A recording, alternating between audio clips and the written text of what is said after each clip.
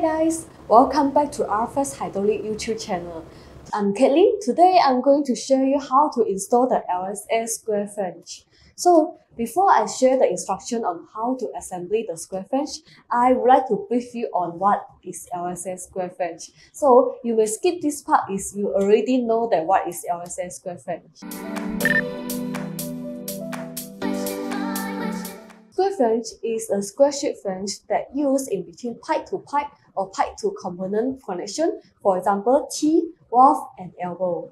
There are many types of flange standard can found in the world. The common world standard include ASME, DIN, PN, BS10, and JIS. The flange in each standard can be divided into pressure classes, allowing the flange to be capable of taking different pressure rating. The working pressure of LSA square flange can be up to 210 bar or 21 MPa. They are usually used in high pressure system, for example hydraulic and dim light for up to 2000 working pressure.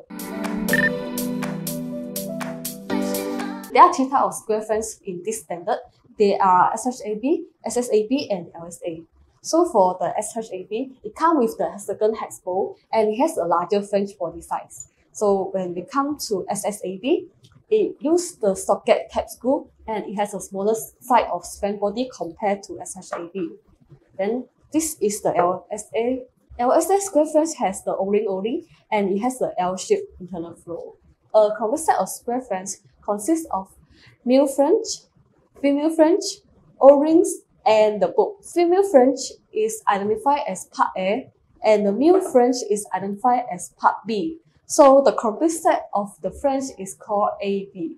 So do you know how to identify SSAB and square flange? They are look the same, however, you can differentiate by looking which bolt they are using. So for example, here the SSAB, they are using the hexagon hex bolt. And here for the SSAB, they are using the socket cap screw. Alright, let's move on to how to assemble the LSA square flange. How to assemble an LSA square flange? Firstly, you have to ensure the seat surface is free from scratches and contamination. You can lubricate the system fluid with any compatible lubricants on the surface of the O-ring portion and you can see there's a O-ring here. Then position the flange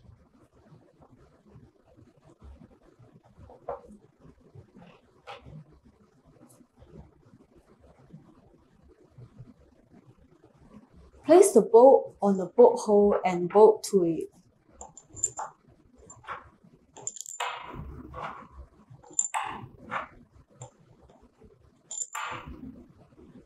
Next, tighten the bolt by hand.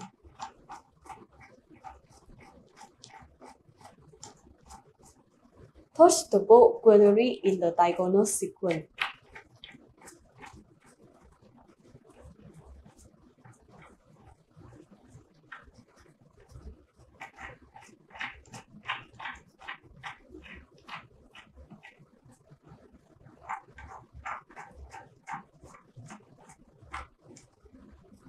Tighten the bolt with a Allen key.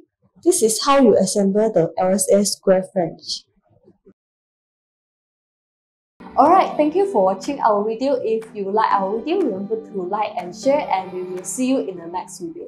Bye bye!